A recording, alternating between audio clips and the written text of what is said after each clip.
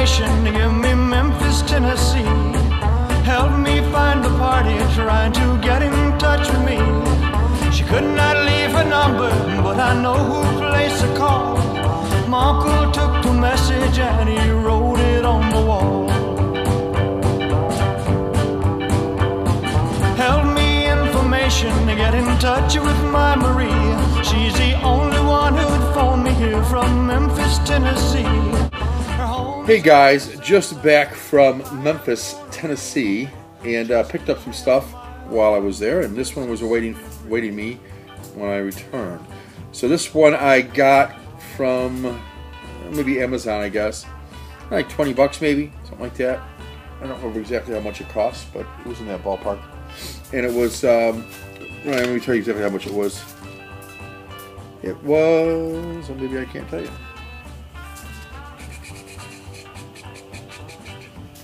Oh, it was from It Out of Here.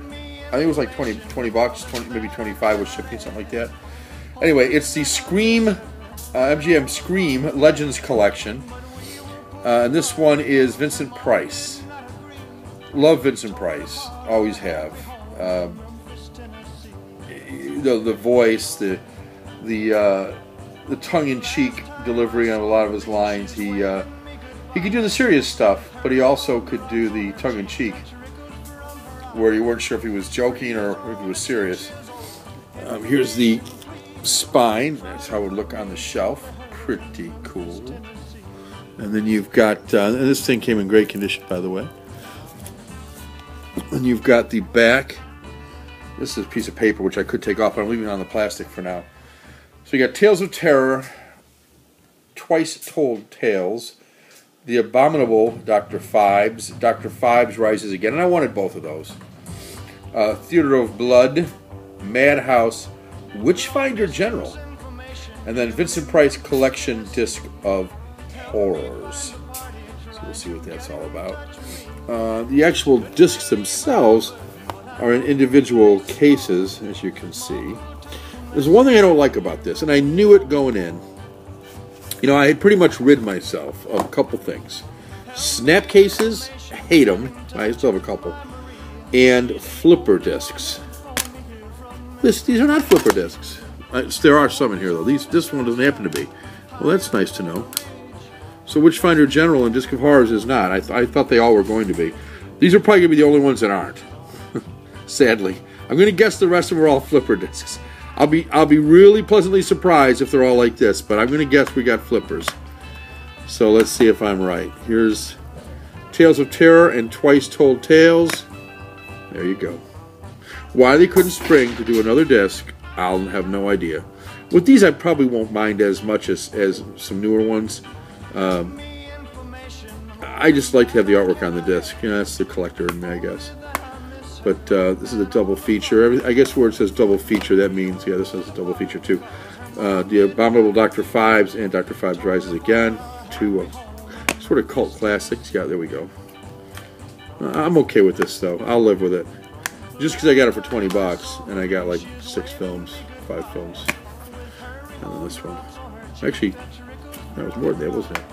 Two films Theater of Blood Madhouse. Four, Dr. Phibes, Dr. Phibes Rises Again. Six, Tales of Terror, Twice Told Tales. Seven, The Witchfinder General, and then Vincent Price's Disc of Horrors. So, yeah, seven movies, and then the the bonus disc. Pretty slick for like 25 bucks.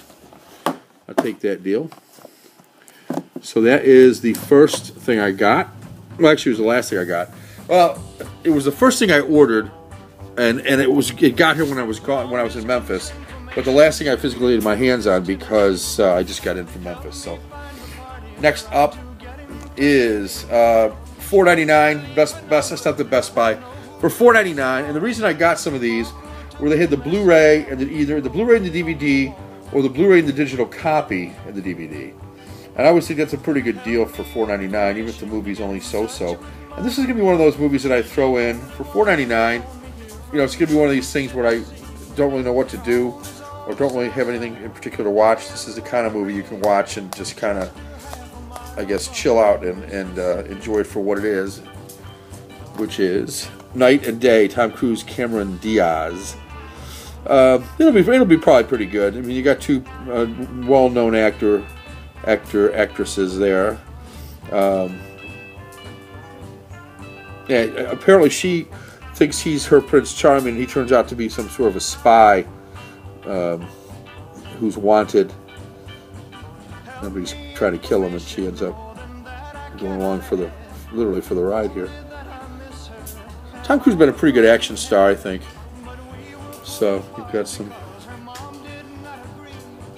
There you go. Gives you an idea what's going on with that movie. Some extras on it too. So for four ninety nine, you get the extras. I I'm always a big fan of the extras. I figure if I'm going to buy it and collect it, I might I might as well have some extras with it, as opposed to not. Next was uh, Vin Diesel Babylon AD Raw and Uncut. This had the digital copy with it. Again, it had it had quite a few special features with it, so I kind of like that. As you can see, yeah. Post-apocalyptic, I like that kind of stuff. Confines of Eastern Europe to the glittering megalopolis of New York City. And you can see that some of the graphics are pretty sweet, and uh, they do a futuristic world, which I always always like that. I don't care if it's all CGI or not, I still enjoy it. Then I got, because I recently got the whole Lone Ranger set. Well, first and second season. The first and second season? First, second, and third season, I guess it was. Of the Lone Ranger, which I think is, is all of it. It's all the, the good one, anyway. The, the one I'm thinking of. Now I've got Lone Ranger with Johnny Depp and Armie Hammer. I've heard good things about it. I've heard bad things about it, so we'll see. Uh, you know, I'm a big fan of uh, the theory that if the reviewer doesn't normally agree with my opinion, then I don't care. I don't care about the reviewer. So I've seen reviewers where most of the time I don't agree with them on movies. Their review means shit to me because, you know, I don't agree with their opinion. So the fact that they're a reviewer doesn't mean anything. They're, they're just a guy with an opinion who's watched some movies or a lady with an opinion who's watched some movies. It doesn't mean they're, and, and they have some talent to write. It doesn't mean they have a better opinion than I do or that you do. It just means their opinions are different. For instance, uh, there's some of you guys out there that have a that really love the uh, like for instance Aaron Pin likes the um, and he got, I got the inspiration to get the Vincent Price from him by the way because I saw his it in his collection I thought that looked pretty cool. But Aaron likes slasher movies. I'm not a fan of slasher movies. Don't really care. Though I do like the the Abominable Doctor Phibes because it's there's different ways he uses the different things he uses to kill people. Uh, and it's not about the blood and the, and the gore. It's more about the uh, you know the insanity of how far he goes to kill people and uh, the the methods that he uses. It's pretty cool. Uh, anyway, uh, the Lone Ranger, and last uh, but certainly not least, was on sale. And then the next day I went back and it wasn't on sale. So kind of glad I picked it up when I did at Best Buy, of course. Blu-ray, DVD, digital, HD, ultraviolet, uh, Elysium or Elysium.